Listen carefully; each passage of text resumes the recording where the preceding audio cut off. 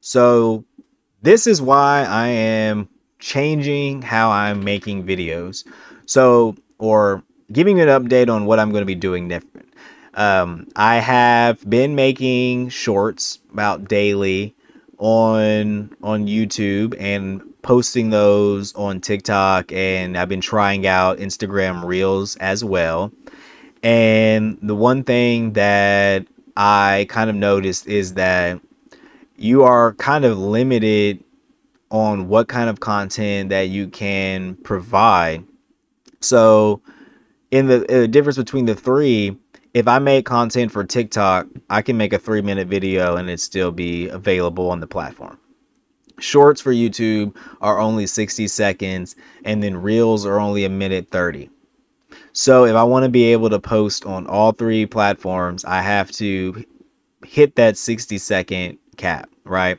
So it makes it a lot harder to have long form longer formatted content on three unless I did like three 60 second videos for like I broke up I made a TikTok that's three minutes and then broke it up into three videos for shorts. I, I could do that as well as for Instagram to get more content out there. So that'd be three videos a day for those three and then three minutes for one TikTok video, which I mean that'd be cool.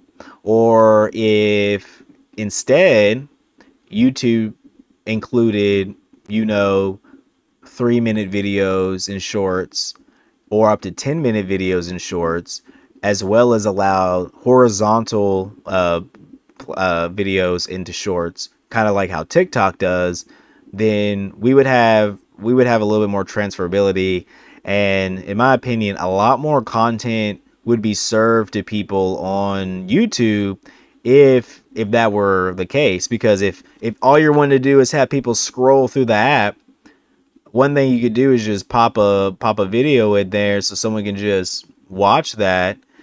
And you you like it'd be beneficial. So i mean like you, like they would get i think they'd get a lot more people discovered on the platform a lot more ads would be you know played in my opinion just because if i'm finding new people on youtube that make both like the short short content as well as longer formatted content then that just gives me a lot more to pull from. So that's kind of what I why I'm kind of gonna move away from focusing on YouTube Shorts.